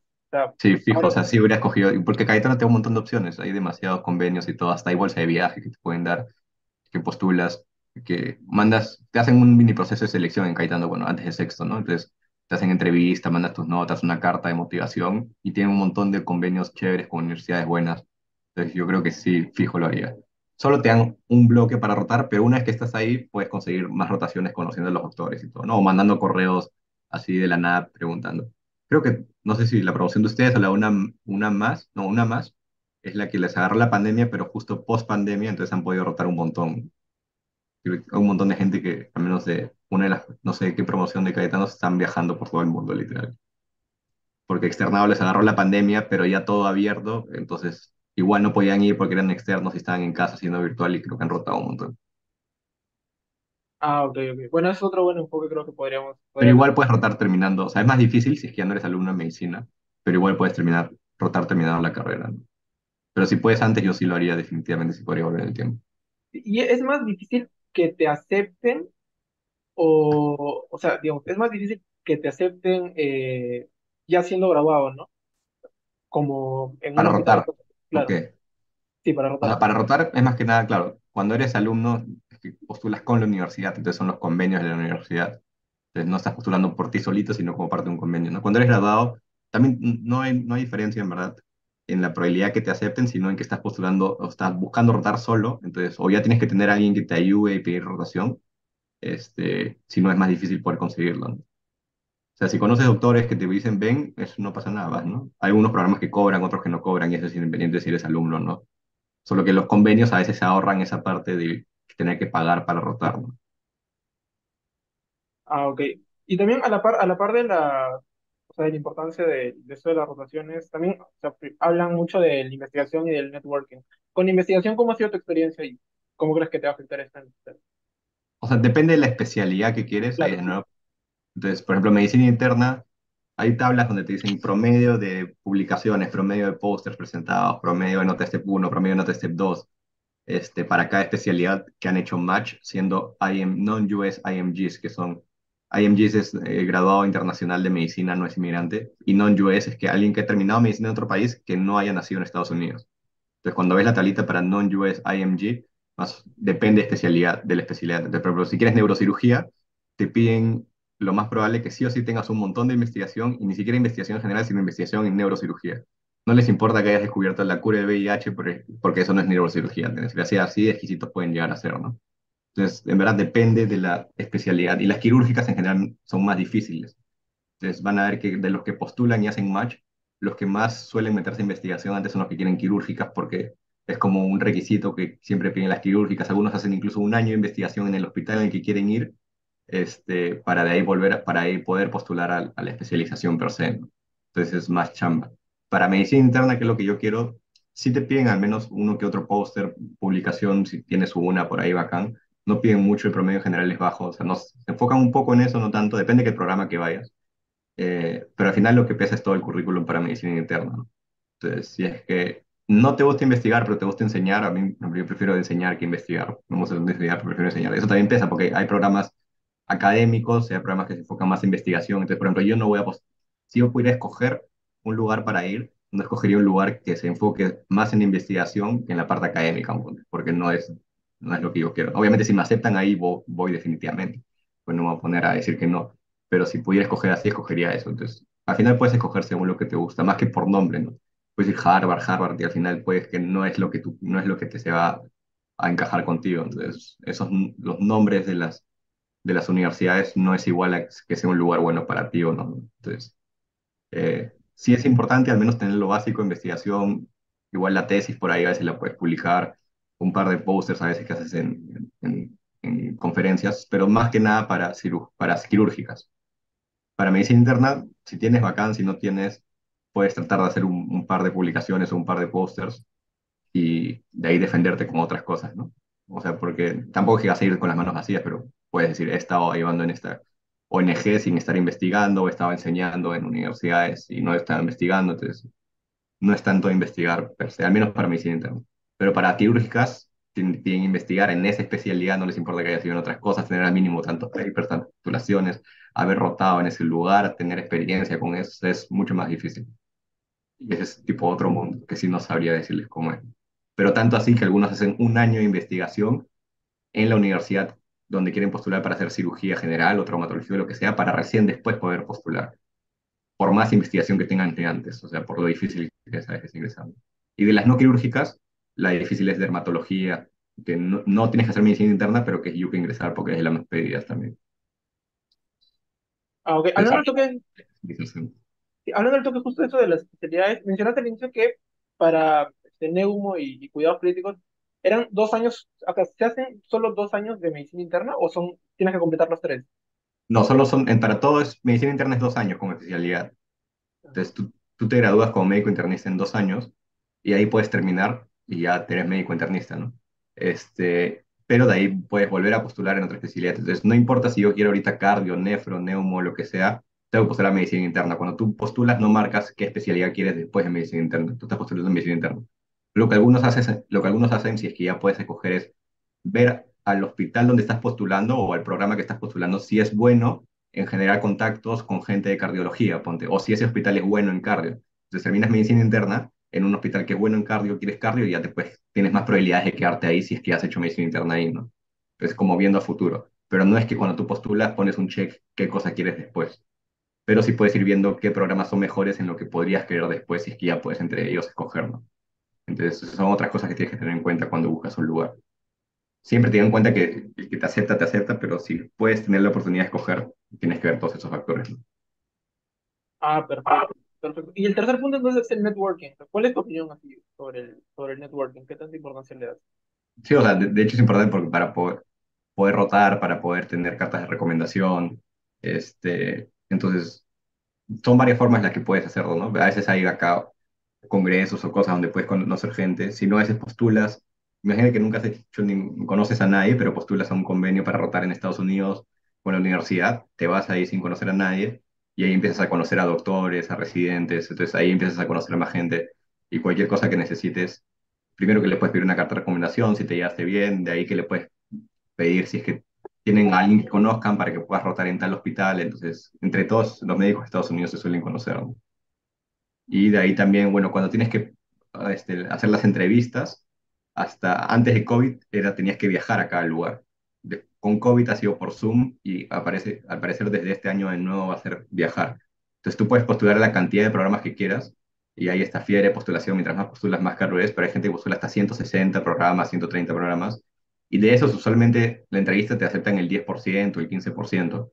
Este, entonces, pero si postulas a 160 te pueden aceptar 16 entrevistas y uno puede ser en el norte de Estados Unidos, otro en el sur, otro en el este, otro en el oeste, y una entrevista es el día siguiente, la otra es al siguiente día y así, ¿no? Es, entonces tienes que estar viajando por todo Estados Unidos, buscando dónde dormir y todo eso es caro. En cambio, si conoces a residentes por ahí, algunos te pueden alojar en su casa una noche, ¿no? Tipo, te duermes en el sillón o algo y, y ya no tienes que estar pagando este, este, hoteles o Airbnb o lo que sea. Entonces, para eso también puede servir. Y bueno, también cuando vas a las ciudades, si es que ya conoces a más gente, le dices, estoy por acá, este, ¿qué me recomiendas? O y vas conociendo a más gente, ¿no? Sales con ellos y todo. Claro, entonces, eh, bueno, para cerrar, eh, es más que nada la investigación dependería de la especialidad a la que quieres seguir y sería bueno como ver eh, más o menos las tablas que salen, ¿no? De, no sé, si quiero postular a pediatría, cuántas publicaciones necesito, medicina interna, neurocirugía. Creo que neurocirugía es la que más eh, publicaciones de Que eran como traumato también, ortopedia, es traumato también pide bastante. Pues. Cirugía general también pide, pero neurocirugía creo que sí es de las que más pide, o sea que es bien difícil.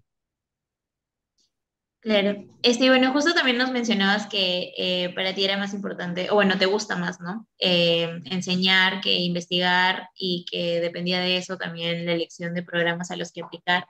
Entonces quisiéramos saber si es que ya tienes pensado más o menos a qué programa eh, aplicar o si ya tienes como tu lista de estos hospitales de SEO, estos no. O sea, he estado buscando, sí, pero primero quiero rotar en varios para poder hacer, pero este, hay varios que son conocidos, que aceptan peruanos, ponte. Este, UAB, que es la de Alabama en Birmingham, es uno de ellos. De ahí, antes estaba el Texas Southwestern, pero dicen que ahora cambió de director de programa y ya no aceptan a ningún peruano, ponte. Entonces pueden pasar cosas así de un momento para otro. Este, y hay un montón de programas variados que son bien buenos. Cuando entran al Reddit, hay un Excel que crean cada match que te dicen, la misma gente que está postulando te comenta sobre el programa, los pros, los contras, qué es lo que se enfocan, qué es lo que te preguntan más en entrevistas. Este, entonces, en verdad, cuando postulas entrevista, no te pones tan picky y simplemente postulas un montón, ¿no? Este, de mi promoción hay dos que ya han postulado el match 2023, o sea que ya han pasado por las entrevistas y todo. Y en marzo les dicen si hacen match o no este, pero uno, este, los dos postularon un montón de, de lugares antes de entrevista, ¿no? Y de, de, un cierto porcentaje te acepta entrevista. Entonces, ah. para asientos ah. sin, sin, este, sin, disti sin, distinguir, porque igual también puedes practicar, entre comillas, en las entrevistas en programas donde no estés tan interesado. Pero per se no he hecho todavía una lista así completa de cuáles sí o sí quiero, cuáles no sí quiero, pero sí es importante eso que hay que hacer, ¿no? O sea, empezar a seleccionar primero los ideales, después de esos ideales ver cuáles sí son más factibles, cuáles son menos factibles, porque, por ejemplo, no, no hay opción que acepten peruanos, este, y, e ir viendo también después la ciudad. Tú tienes que poner tus variables, ¿no? Si la ciudad para ti es un factor importante, el clima, todo eso, te lo puedes poner como variable, si no, lo puedes dejar después.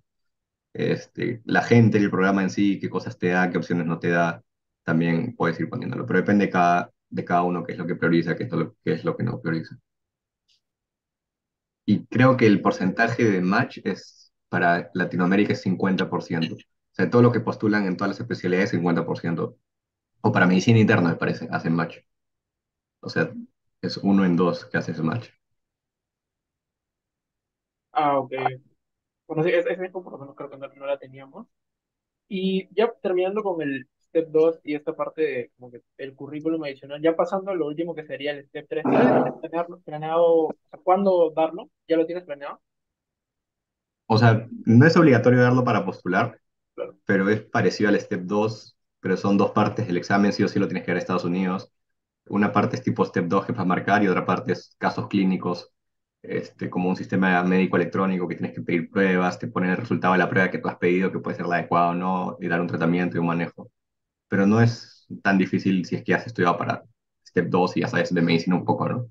Y no es obligatorio darlo este, para postular, pero si te lo puedes quitar el peso de encima, mejor, ¿no? Lo único malo es que, o no malo, pero lo que te piden es que se tiene que ir a Estados Unidos y que para darlo tienes que tener tu certificación de ECFMG, que es haber dado el Step 1, el Step 2, haber dado el componente en inglés, que antes era el Step 2 CS, que tenías que viajar y ir a un ECOE, pero ahora es, hasta el año pasado, hasta el mayo de este, del 2023 era el OET, para el 2024 creo que todavía no sale, y este, con eso tienes que mandar todos tus documentos al sistema Store por web y te mandan de ahí por correo, por courier, un certificado de CFMG, que es como que has convalidado tu título, ¿no? No es que significa que puedas ejercer medicina, sino que ya tu título ha sido convalidado. Y con eso recién puedes programar tu examen de Step 3, que son dos días de examen.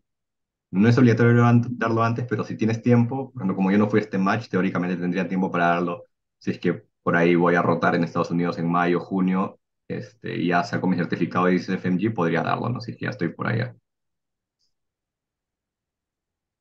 Listo. Este, bueno, muchas gracias. Esas son las preguntas que teníamos preparadas por parte de, la Junta Directiva de la sociedad, pero eh, como, bueno, la, la, sociedad es hecha por y para estudiantes, entonces les pedimos a ellos que nos hagan algunas preguntas por nuestra cuenta de Instagram. Este, así que, bueno, Gonzalo, la primera pregunta que nos dejaron. Sí, la primera pregunta que nos hicieron es, ¿qué tan importante es pertenecer a sociedades estudiantiles durante la carrera? Entiendo que esto no lo hacen solamente para el STEP, sino en, general. Y también, ¿cuál sería tu experiencia con, con esto? O sea, yo les diría que si quieren participar en alguna sociedad, lo hagan porque les gusta, no por, no por presión, ¿no? O sea, si no te gusta, no, no hagas. Al menos es, no es no es chévere o no se siente bien estar ahí haciendo algo que no te gusta, por más que todos lo hagan. Entonces, simplemente no se meten a cosas que no les gustan. A mí me gusta enseñar, entonces me metí a la SEC, eh, pero porque me gustaba enseñar, no porque necesitaba que, no porque sentía que era necesario. Entonces, al final, si es necesario o no, al final es algo más para el currículum eh, y en lo que los interesa en las entrevistas o en general es tu pasión por, por ese ámbito, ¿no? O sea, si te gusta investigar, obviamente vas a estar buscando lugares para investigar. Si tú te enseñar, vas a estar buscando algún nicho para enseñar, pero no te metas por meterte a algo.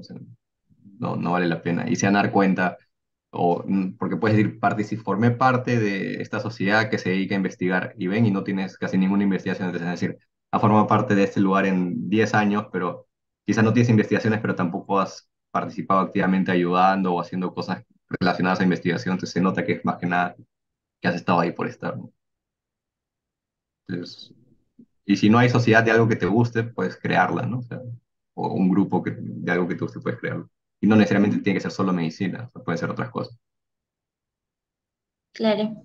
Dejando de lado un poquito lo de eh, los steps y la preparación, también nos hicieron preguntas sobre el ENAM. Entonces, este, bueno, la primera de ellas es, ¿cómo fue tu preparación para el ENAM? Y para esto eh, quisiéramos que nos menciones los recursos que utilizaste y si es que tuvieras algún consejo a la hora de prepararse. Bueno, justo ahí no conocía las academias de NAM, entonces antes de terminar externado empezaron a hablar de academias, que había que meterse como promoción, que las ofertas por promoción, entonces me metía vía Make y CoexMake. Eh, y comenzaban en enero, me parece, ¿no? Era virtual. O sea, yo prefiero, a mí no me gusta ir a escuchar una clase, yo siempre faltaba clase, a mí me gusta que la graben y ver la, la velocidad que yo quiero, no me gusta, es algo que sea una cosa interactiva. Entonces en las academias me metía la parte virtual, que subían los videos pregrabados, también los subían en vivo, pero no puedes acelerar, entonces no, no los quería ver. Pero comencé el internado porque comencé medicina sin pandemia, justo escogí primer bloque de medicina por casualidad y justo no hubo pandemia ahí, y no tenía tiempo de ver ni siquiera, creo que vi un video de Quick Make y uno de Vía Make en los tres meses o diez semanas de, de la rotación de medicina interna que fue sin pandemia, ¿no? Entonces era literalmente imposible estudiar. Tipo, ya están cansados, ni, ni podía ir al gimnasio, al menos en medicina, que es la rotación más intensa de todas. Este, entonces, creo que es bien difícil, al menos durante ciertas rotaciones, estudiar este, otras cosas, o si quiere estudiar. Eh, ya no tuve la oportunidad de ver pediatría como en internado prepandémico, pero teóricamente salías un poco más temprano en pediatría, en cirugía, dependiendo de la semana en la que estás. Entonces, quizás ahí sí hubiera tenido tiempo de estudiar para el, el ENAM o otras cosas en la vida, si es que seguía como internado prepandémico, ¿no?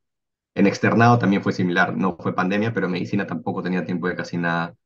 Iba al gimnasio pues, dos veces a la semana, en las justas por lo muerto que estás. En otras rotaciones, psiquiatría, salías temprano, este, dependiendo del lugar que escoges, ¿no? Entonces, no es homogéneo en todo el año. Creo que tienes que ir pensando en eso, que no vas a poder hacer lo mismo en todas las rotaciones y en todas las semanas. Pero ya hablando del ENAM específicamente, creo que el examen de verdad es bien, está mal hecho, me parece, no preguntan mucho, creo que es, bien vago. Después de haber dado, estudiar los steps y todo lo demás, te das cuenta que el nivel es bien bajo de educación médica en Perú en general. Y si lo hacen más difícil, incluso más gente jala, entonces no tienen cómo seleccionar. ¿no? Ya no es obligatorio dar el ENAM porque Indescopy les cayó a PFA, me parece. Ya no es obligatorio tener nota de ENAM aprobada para poder este, tener tu título. Entonces, si no te interesa, pues no estudiar y lo jalas y no pasa nada. Eh, según lo que tengo entendido hasta lo último. La nota tampoco sirve de nada, salvo quieras hacer residentado acá en Perú, que si te sacas de 17 a más, de entre 15 y 17 te dan más o menos puntos para, y al final los puntos se suman y mientras más puntos tienes más, este, en tu orden de mérito es, mm, es este, más próximo a los primeros que escogen la, la rotación, entonces el lugar donde quieres hacer tu residentado. Entonces, si quieres, no sé, cirugía plástica en el Rebe que de hecho es Yuca, tienes que tener buen puntaje no solo de NAM, sino de tu promedio de, de, carrera y escoger un lugar de serums que sea lejos, para que te, o de, no lejos, pero uno que te dé bastantes puntos, ¿no? Entonces, si tu, si tu idea es quedarte acá, sí tienes que apuntar una nota alta de NAM. Al menos 17 más que te da dos puntos, me parece, uno y medio, una cosa así. Tampoco es mucho del global, ¿no? Eh, lo otro es, antes sacaban ranking de alumnos, ranking de universidades, ya ni lo sacan.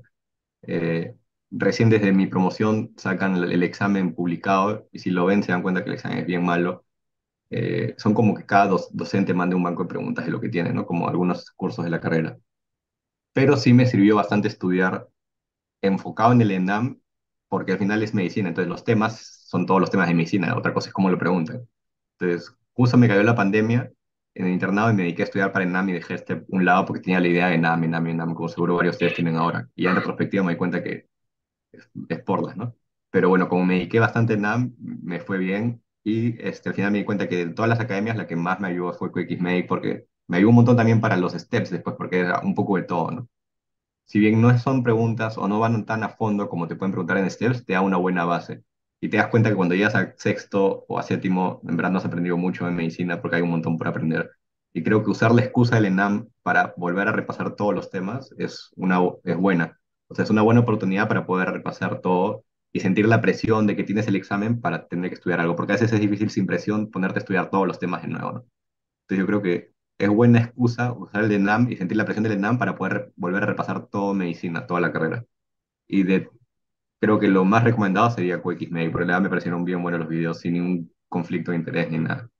Este, pero si en internado, si es que el internado va, va a volver a ser como era pre-pandemia, que está volviendo a ser así, me parece, este, va a ser bien difícil que puedan estudiar con tiempo. Entonces les diría que desde externado, que si hay un poco más de tiempo, se pongan, o desde quinto año inclusive, o terminando quinto para sexto, se pongan a estudiar para el ENAM usando este, distintos materiales, entre ellos QXMake, porque creo que tienen curso pre-internado o no sé qué vaina, pero al final todo es lo mismo.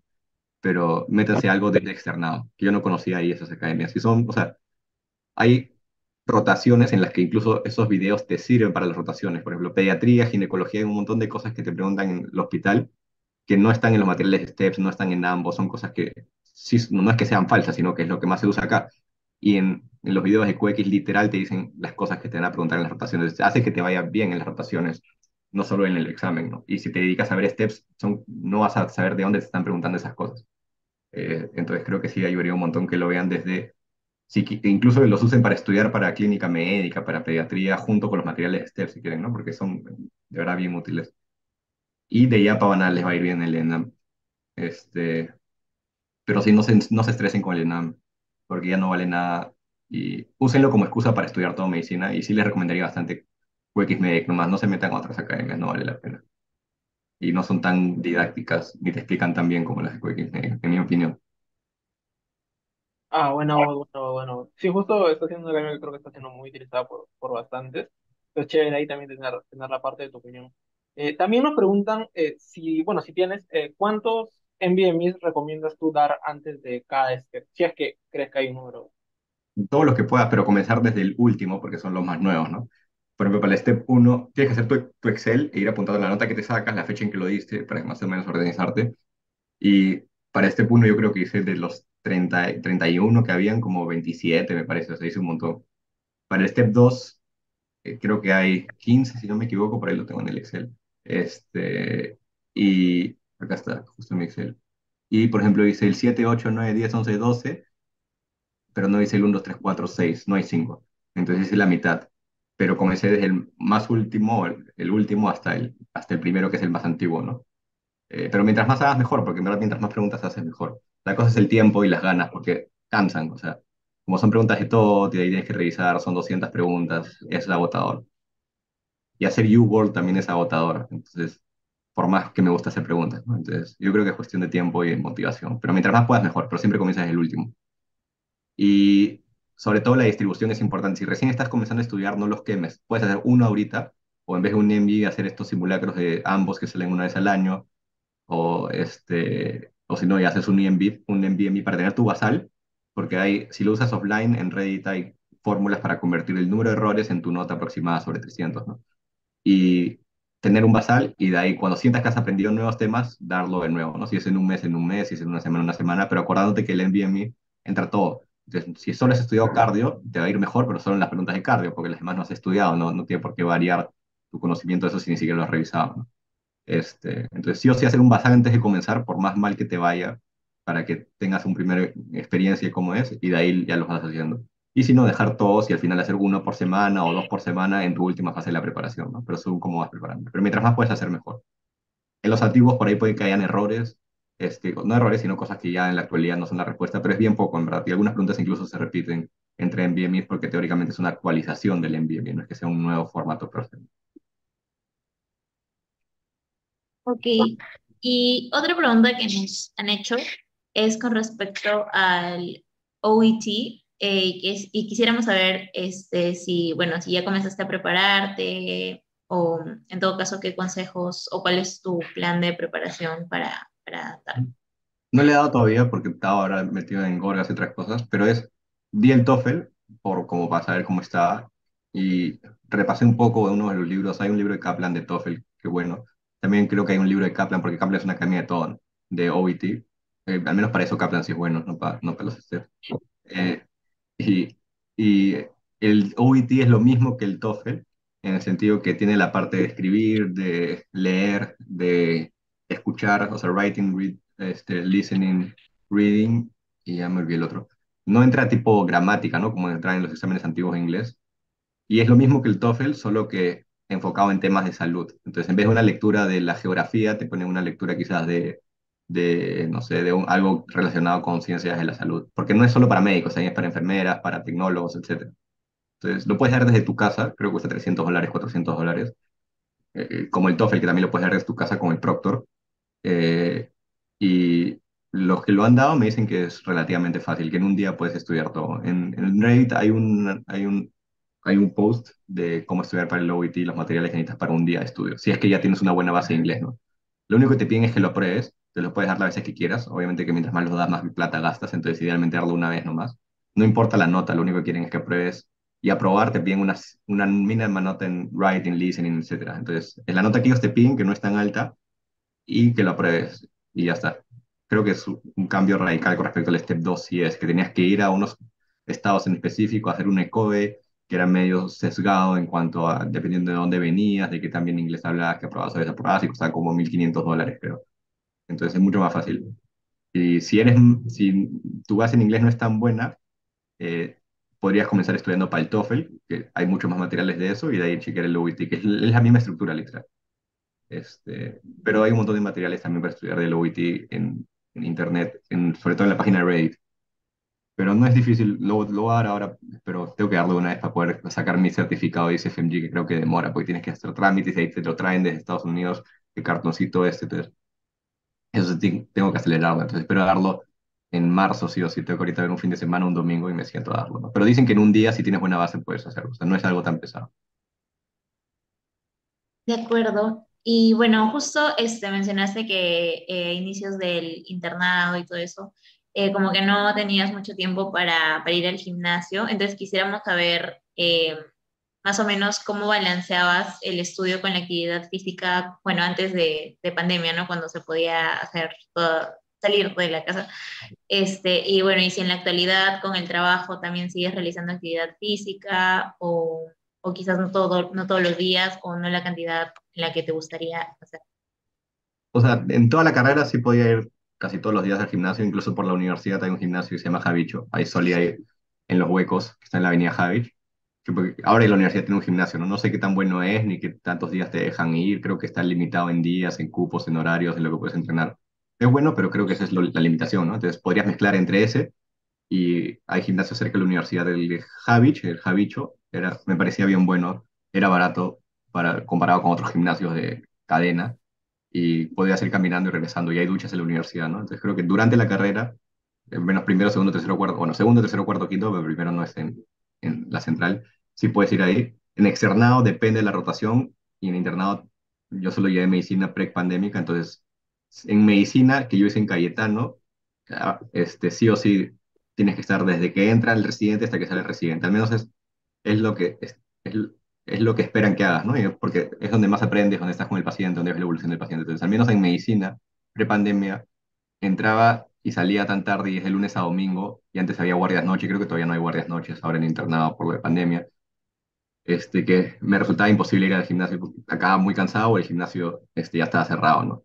Teóricamente si tienes tiempo, si acabas a las 9 de la noche ir al gimnasio de 10 a 11, pero al menos yo acababa tan muerto en medicina que no tenía tiempo y dejé de ir. En medicina externado, salvo ahí tienes un par de semanas donde haces consultorio, haces posta, que sales temprano, podrías ir, ¿no? Pero si no, en medicina de verdad me pareció bien difícil ir. Y en las demás, en las demás rotaciones y en externado sí fui. Quizás no tanto como esperaba, porque así tenía que hacer guardia noche, guardia día y acabas muerto, pero si vas al menos tres veces a la semana, está más que suficiente. Y en pediatría, psiquiatría, cirugía que dicen Loaiza, porque no está tan interesado en cirugía, entonces si quieres menos estrés, entonces vas al Loaiza, ¿no? Que no es un poco más, más denso. Eh, sí me da tiempo ir al gimnasio en externado. En internado, cuando hice lo demás ya pandémica, era 15 días sí, 15 días no, salías a la 1 de la tarde, de ahí empezás a salir a las 3 de la tarde, entonces sí tenías tiempo de todo. Pero si estás regresando a internado y externado como era antes, al menos en medicina, Cayetano, es complicado hacer deporte. Que puedes, puedes, pero ya a veces no da la vida. Pues pero al menos el resto de la, de la, de la sí, son 10 semanas que podría ir una vez a la semana al gimnasio durante la rotación de medicina, pero el resto del año sí es posible, si quieres. Y ahorita sí también, ahora sí tengo más tiempo inclusive, porque no comienzo tan temprano, entonces puedo ir al gimnasio de 6 a 7, por ejemplo, de 6 a 7 y media de la mañana o en la noche terminando, porque tampoco es que termine a las 10 de la noche. Pero ya es por, por rutina que estoy acostumbrado a ir y no me es tanto peso. Entonces creo que ahorita tengo incluso más tiempo. Pero cuando comience residentado en Estados Unidos, si es que ingreso, también va a ser la misma historia que va a ser imposible ir lo más probable. Salvo que por ahí el hospital que yo vaya tenga un gimnasio que es ir a residente a las 5 de la mañana y me pueda despertar a esa hora. Pero usualmente dicen que es imposible, sobre todo el primer año. Pero ya veremos. Ah, ok, chévere. Y también siguiendo acá con un poco de organización, eh, porque bueno, obviamente para tener tienes que estar bien organizado. No sé si la última pregunta que nos hacen es que si has, durante la carrera tuviste una forma de organizarte para los distintos cursos. No, o sea, antes de que conozca antes, Anki, yo estudiaba, me acuerdo, miraba la clase, o sea, sí que no tenía, no tenía muchos materiales, entonces miraba la clase, hacía apuntes en Word de la clase grabada, no me gustaba escucharla, y de ahí hacía el resumen del apunte en Word, y de ahí imprimía ese Word, y hacía un resumen del resumen, y terminaba con un papelito que era mi papelito para estudiar para el examen. O sea, era repetición espaciada, pero al final botaba todo, ¿no? Este, entonces trataba de mirar todos los audios de la clase y en fisio leer los libros de texto recomendados, que era lo único que como tenía de material en ese entonces. Y en Clínica Médica 2 conocí Borsan Beyond, entonces hacía resumen de Borsan Beyond de los videos y de las clases, entonces hacía resumen del resumen de los dos y la misma idea de papelito, papelito, o sea, papelito nano, ¿no? pero no, tenía, no conocía Anki. Pero más que nada era eso, era tratar de ver todos los audios y los videos correspondientes para antes del examen y de ahí olvidarme. Este, recién en externado, internado es donde ya este, empecé, en internado, en verdad, o sea, por pandemia es donde empecé a estudiar más y donde creo que aprendí un montón de todas las cosas que por ahí me había olvidado, ¿no? O sea, donde eh, con QXMake, porque es lo primero que conocí de, las academias de NAMI con el tiempo disponible, es donde puede volver a crear una buena base repasando toda medicina.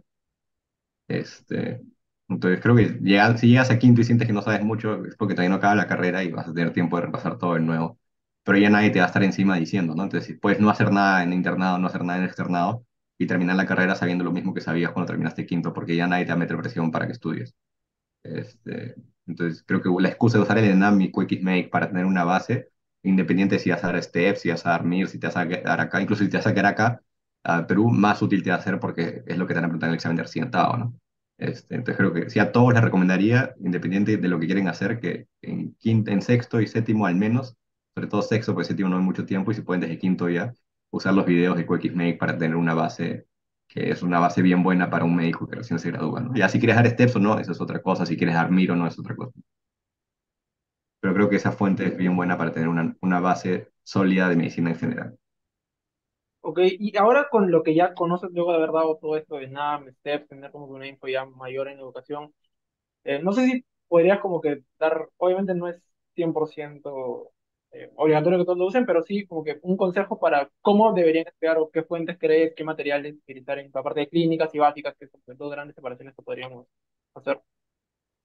Este, bueno, en verdad depende de cada uno y cómo le gusta estudiar, pero si yo pudiera ahorita regresar a Clínica Médica 1, ponte, que es donde no conocía ningún material y traté de leer Harrison y ni terminé un capítulo, el primer capítulo de cardio, leer libros, en verdad es, al menos a mí me parecía muy complicado, no entendía mucho, no sabía cuando leía por primera vez un capítulo de Harrison o del libro que es el Farreras o el libro que sea, qué información era importante, qué información no era importante, porque era la primera vez que me estaba exponiendo al tema. Entonces, al menos para mí, si tengo que conocer un tema nuevo, lo primero que me gusta es, en Clínica Médica 1, por ejemplo, me hubiera gustado ver un video, o ver los videos de Borsan Beyond de Step 1, por más que Clínica sea de step, más asociado a Step 2, sí le recomiendo usar videos de Step 1 para Clínica Médica porque clínica médica te va a pedir las bases, o sea, lo básico de todo, o, cirugía o lo que sea, clínica médica es el más completo de todos, infecto también, de ahí neuro, usar los videos de básicas, porque para la parte ya de clínicas, los Step 2 no llega a cumplir las expectativas de lo que ellos te piden.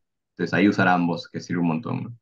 Entonces vería primero los videos de Borsan Bidón, haría apuntes incluso antes de comenzar el curso quizás, por ejemplo, para infecto, me vi todos los videos de microbiología de Borsan Bidón en las vacaciones de quinto año, en mitad de, ciclo, ¿no? En junio, julio creo que fue. Y empecé a repasarlo. Este, repasarlo la antigua, que era leer, hacer resumen del resumen, subrayar, hacer resumen del resumen de todo micro de Borsan Bidón. Porque era bien completo, pero es demasiada información, ¿no? Y a mí me gustaba infecto, entonces quería repasar todo de nuevo porque claramente no me acordaba nada de micro, lo único que me acordaba era parásito.